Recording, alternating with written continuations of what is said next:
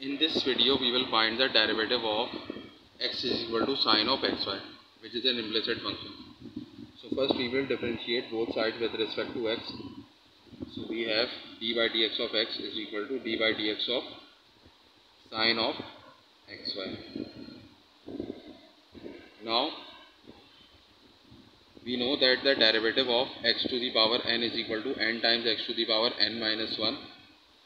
So the derivative of x is equal to 1 times x to the power 1 minus 1 which is 1 times x to the power 0 and x to the power 0 is 1 so 1 multiplied by 1 is 1 so we can write 1 over here and the derivative of sine of x is cosine of x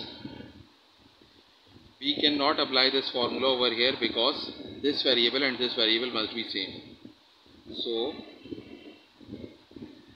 first we will write it as it is and then let u is equal to xy so we have d by dx of sine of u. But again we don't have the same variable and we must have du in place of this dx. So we will apply chain rule it by du by dx. So we can cancel du and du and we will get d by dx again. And but we can apply this formula because this variable and this variable is same. So the derivative of sine of u is cosine of u and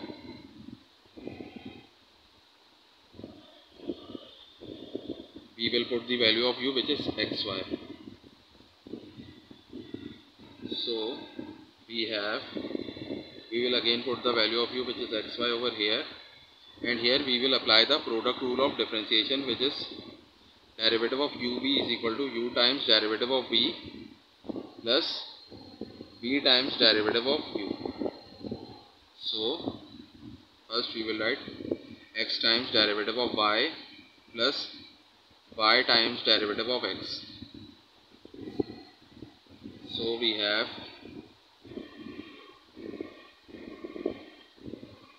x times dy by dx and the derivative of x is 1 so 1 times y is y.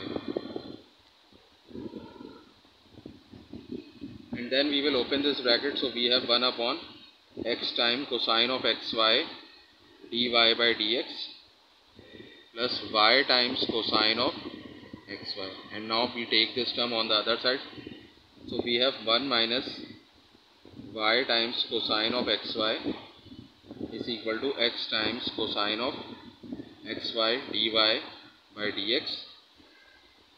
And this thing can be written as x times cosine of xy dy by dx is equal to 1 minus y times cosine of xy